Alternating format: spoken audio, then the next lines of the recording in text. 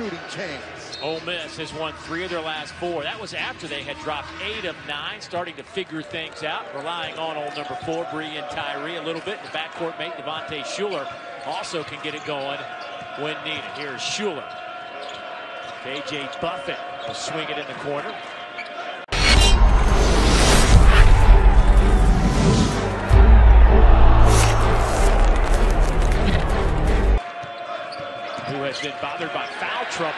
This season. But the takeaway, here's Pinson. That wasn't what we expected, but look, so as a player, you watch Breein Tyree in the warm-ups today, he struggled a little bit. Couldn't find his rhythm.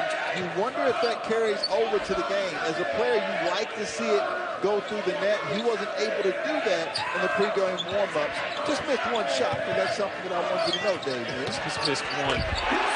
Pinson hadn't missed. Throws up a tough shot off the front of the rim, but nobody's there except Pinson to pick it up.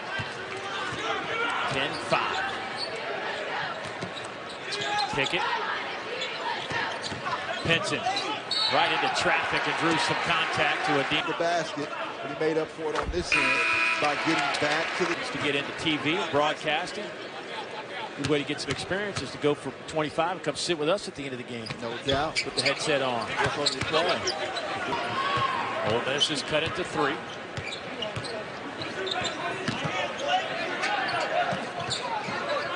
Like that denial. Williams all over Pinson. Kobe Brown will get it to Pinson. Now what you're going to see is Missouri late in the shot clock they have to create. Notice, Dave, how Devontae Shuler is face guarding Xavier Pinson. Dru Smith. Here's Pinson. Nikko comes to set a screen.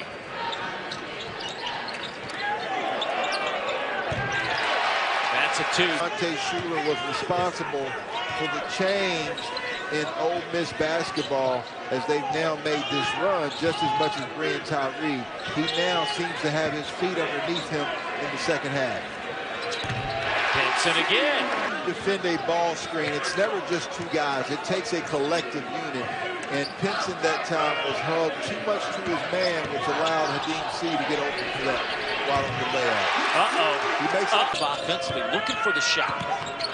Reaches in there and pokes it away. That's the one area where Breein Tyree can continue to improve. And part of that is he's got to continue to have guys who uh, he has confidence to make passes to. But as he begins to be such a tremendous scorer that he's displayed, he's going to have to distribute the basketball as well. Come on. A lot of dialogue about how well Breein Tyree played in the first half. In the second half, Xavier Pinson saying, you got to deal with me too. Tyree is yet to attempt a shot in the second half. How does that happen? Well, sometimes it's the defense, the opponent stepping up. Nice job of Pinson using his body. But as a great offensive player, it's your job to continue to hunt the basketball. That's what Breein Tyree has to do a little bit more of in the second half. What he's been averaging the last three games. Find a way. And I, I don't know if it's just, I mean, give Missouri credit for not allowing Tyree to kind of get his shot going. But you got to find a way, right? I mean, Well, right now, for a lot of Breein Tyree's teammates, it's just confidence. And one thing about it is you see Pinson that guy's got it. This team didn't want him anymore. Couldn't make enough games. So they said, we're going to fill your spot with somebody else.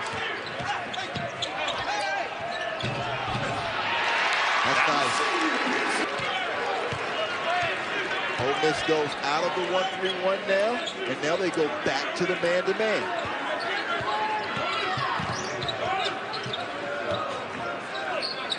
Now I'm looking for Pinson or Dru Smith. Here's Parker Braun, back to Pinson. See, comes out and will foul him. He's trying to get to that sideline. If you get a foot on the sideline, you cut him out. then Johnson.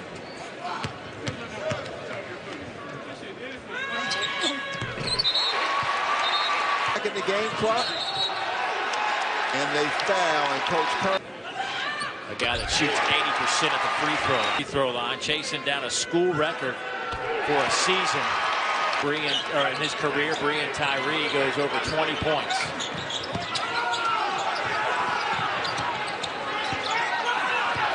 Ole Miss trying to foul.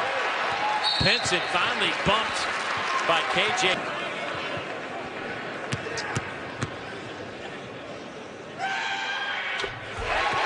Man. Confident right now with the basketball. And Breein Tyree and Xavier Pinson.